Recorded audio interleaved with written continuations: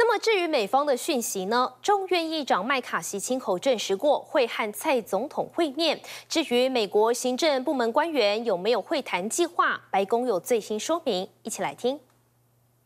These are called transits, uh, not uncommon. Uh, President Tsai has uh, done it six times.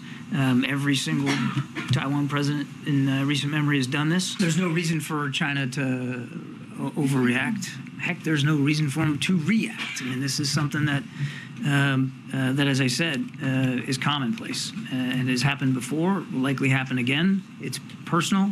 It's unofficial. There should be no reason for uh, Beijing to uh, to react in any way to this. again, business as usual here. So we would let them speak to their agenda, to to who they want to meet with, and and and on uh, what timeline. It is not uncommon uh, for uh, in previous transits uh, for there to be discussions with uh, with U.S. officials and with members of Congress. But again, I'm not going to get ahead. This is really for uh, Taiwan to speak to. 美国国务院则表示，台湾总统过境美国是基于安全、舒适、便利和尊严的考量，符合美国一中政策。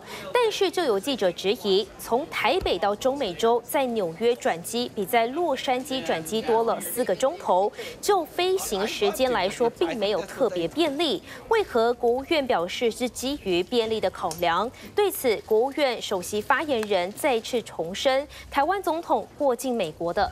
四个原则。